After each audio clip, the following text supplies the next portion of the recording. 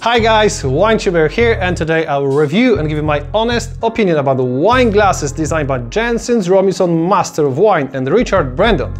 Wine glasses that you can use for any type of wine. So, let's get started!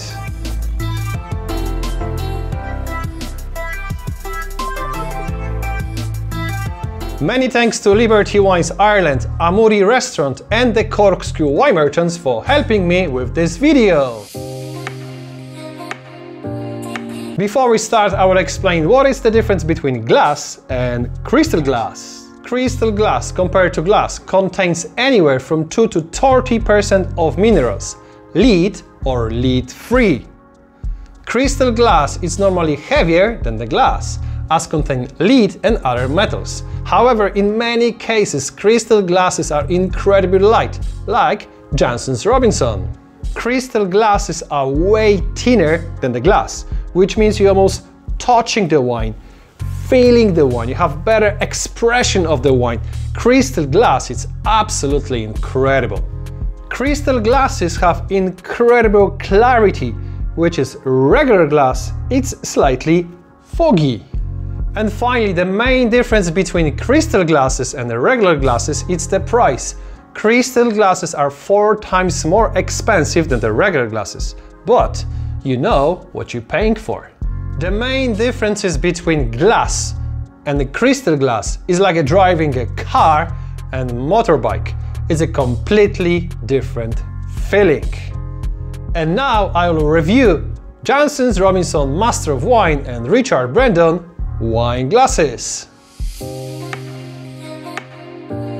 If some of you was watching my video about Krug Champagne, the link is up here, knows that I'm a huge fan of the tulip-shaped wine glasses, same like Jancis Robinson. This shape really helps to easily swirl your wine, which means you're aerating your wine inside your glass.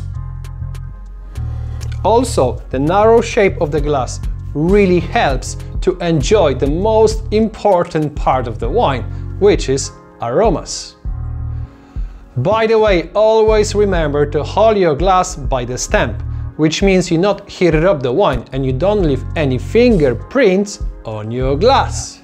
In my opinion, Jancis Robinson's wine glasses are absolutely amazing, ticking all the boxes in terms of universal wine glass. You can use this shape for fine bubbles, white wine, rosé, red and even dessert wine. The only issue is the price set of two costs approximately 100 euro. But you know why? These glasses are absolutely worth the money. By the way, if you want to use any other shapes at home, maybe for your oaky whites or full body Bordeaux, it's always your choice. However, this glass is absolutely amazing. Thank you for watching folks, I hope you enjoyed. If you'd like to discover more interesting wine tools, such as Vacu Vin Wine Saver or Wine Aerator, click one of those videos. Please don't forget to subscribe and see you next time!